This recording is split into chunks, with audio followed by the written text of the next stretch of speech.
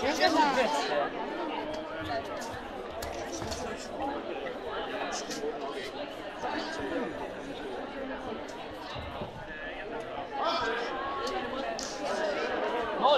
du står kvar där inne för länge. Fungerar du inte ut igen?